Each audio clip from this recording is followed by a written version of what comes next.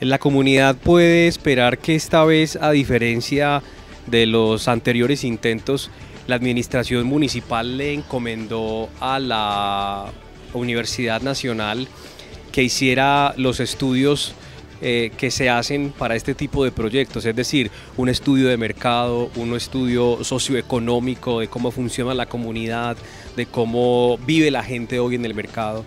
Entonces, eh, en virtud de ello se planteó una intervención eh, arquitectónica, un desarrollo urbanístico de acuerdo a la necesidad de la gente.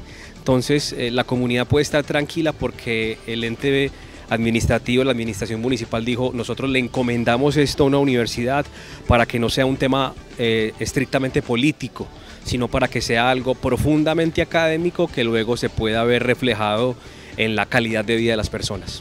¿Cómo van a integrar pues las diferentes zonas que hoy en día se ven muy divididas? Pero vemos que estructuralmente hay un desorden.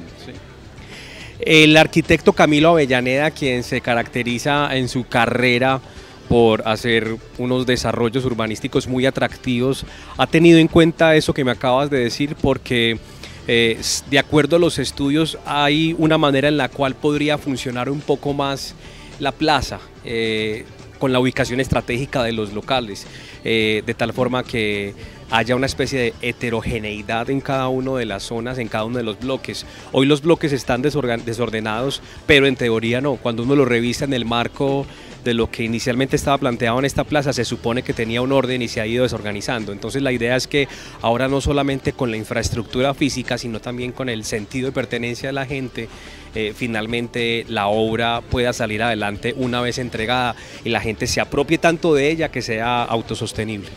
¿Se tiene en cuenta la movilidad? Uno de los grandes inconvenientes es el caos vehicular que se genera con la carga y descarga de mercancías, con el tránsito común que pasa por esta zona.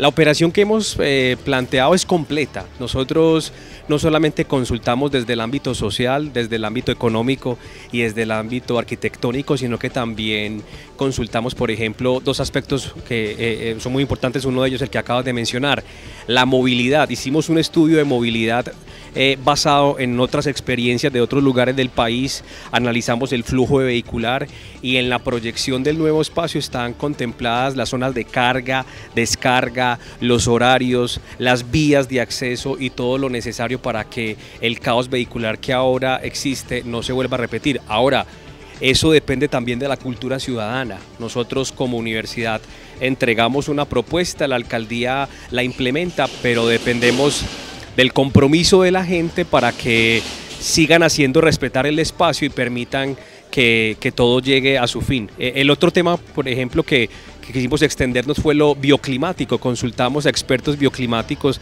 dadas las condiciones del clima de Valledupar, para que nos recomendaran en cuestión de, la disposición de los espacios, del material utilizado para la construcción, de los patios internos, de tal forma que fuera un lugar bien agradable, con buena ventilación y que el, vallenato pueda sentirse a gusto y pueda sentir como referente ese lugar acá en la, en, en la bella Valledupar.